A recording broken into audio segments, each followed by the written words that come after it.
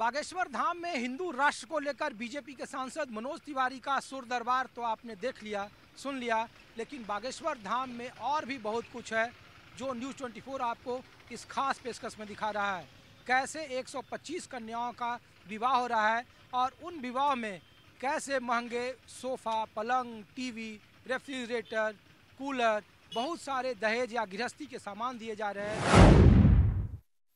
महाशिवरात्रि के मौके पर बागेश्वर धाम में होने वाले 121 निर्धन लड़कियों की शादी की तैयारियाँ जोरों पर है। शिवरात्रि का मौका है और उसको लेकर के आमतौर पर निर्धन परिवार की लड़कियाँ हैं, लेकिन बावजूद इसके उनके दहेज को लेकर या गृहस्थी को लेकर जो ज़रूरी सामान है, उसको दिए जाने की तैयारियाँ शुरू हो चुकी है।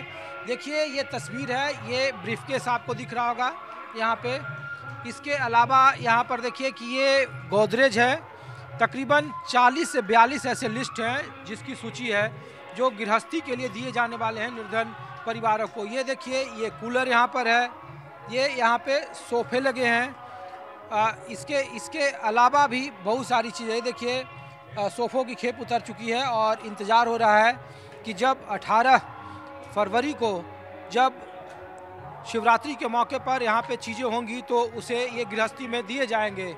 ये देखिए एलईडी की टीवी है इसमें। 32 इंच का टीवी भी निर्धन जो गरीब लड़कियाँ हैं, जो दाम्पत्य जोड़े में बंधेंगी, उनको ये दिया जाएगा। और ये देखिए, ये प्रेस है। हुँ?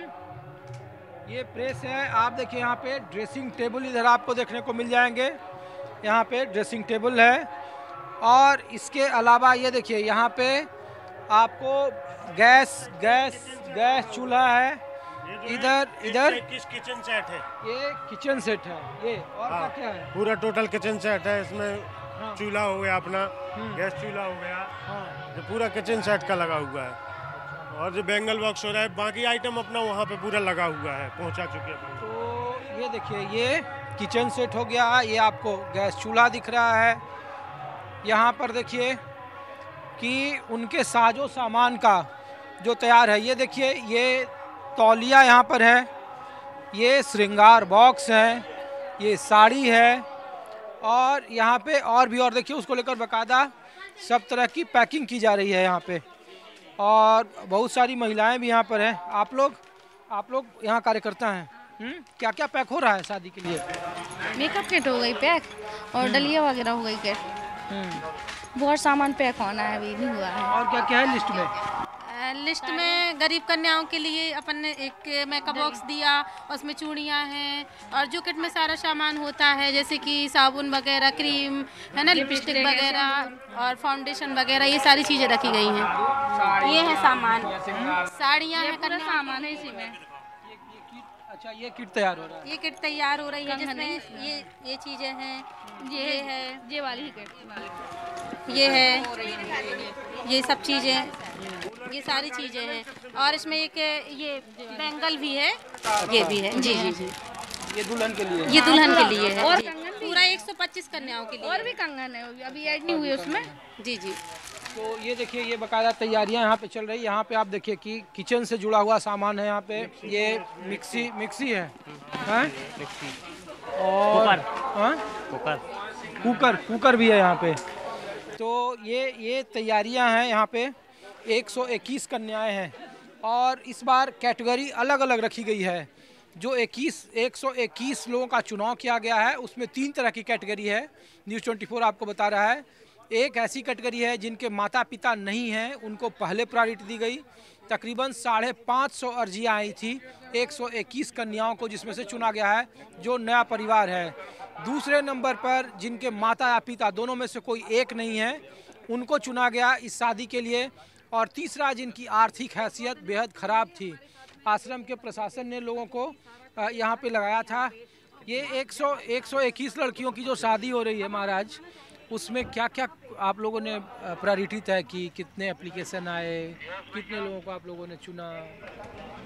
ये चतुर्थ कार्यक्रम है विवाह उत्सव का। हाँ। पिछली बार शुरुआत में हमने पिछली जो बार था उसमें हम लोगों ने 121 कन्याओं का विवाह ए, 108 कन्याओं का विवाह किया था। इस बार 121 कन्याओं का विवाह का संकल्प लिया था। लेकिन हम 125 करने जा रहे हैं। 125 करने जा रहे हैं। कारण था कि दो चार चार ऐसे कन्याएँ मतलब शादी थी कि उनके यहाँ पर कुछ भी नहीं था करने के लिए। उनकी दो दो तीन तीन बच्चियाँ थी। एक सौ इक्कीस का जो संकल्प लिया था हमारे पास लगभग 500 फॉर्म आए थे। फिर हम लोगों के पास एक बड़ी समस्या आ गई कि इनका चयन कैसे किया जाए। तो हम लोगों ने फ़र्स्ट प्रायोरिटी दी कि जिसके माँ बाप दोनों नहीं हैं उनको हम पहली प्राथमिकता देंगे। जिनके पिता नहीं हैं हम उनको दूसरी प्राथमिकता देंगे। हमारे यहाँ से एक कमेटी बनाई गई थी जो जाकर बच्चियों के घर पर जाकर उसने निरीक्षण किया कि उनके पास रहने को है कि नहीं। हम लोगों ने देखा कि भाई यदि मोटरसाइकिल है पक्का मकान है तो नहीं होता। बिल्कुल जो गरीब लोग हैं उनका ही हम लोगों ने चयन किया है और बच्चियों को सारी चीज़ें घर गृहस्थी की सारी चीज़ें इसमें सम्मिलित हैं चाहे वो फ्रिज हो चाहे वो टीवी हो चाहे पास घर नहीं है वो इतना सामान कहाँ रखेंगे? देखिए जब ईश्वर ये करा रहा है तो घर भी बनवा देगा। बालाजी की कृपा होगी उनका घर भी बन जाएगा। जब इतना सब कुछ बालाजी की कृपा से हो रहा है तो निश्चित तौर से उनका घर भी बन जाएगा। तो ये तैयारियाँ हैं और यहाँ पे 18 फरवरी महाशिवरात्रि का वक्त है और उस दिन यहाँ एक बड़ा भव्य आयोजन है विवाह का, जिसमें मध्य प्रदेश के मुख्यमंत्री मौजूद होंगे, और भी बड़ी राजनीतिक हस्तियाँ मौजूद होगी। उन परिवारों के तमाम लोग मौजूद होंगे। 121 मंडप भी बनाए गए हैं, और मंडप में रहने की व्यवस्था भी की गई है। लड़का पक्ष का, लड़की पक्ष का, वो भी हम आपको दिखाएँगे। आप हमारे साथ बने रहिए, कुछ और तस्वीरों के साथ आपके सब आपको और भी रूबरू कराते हैं।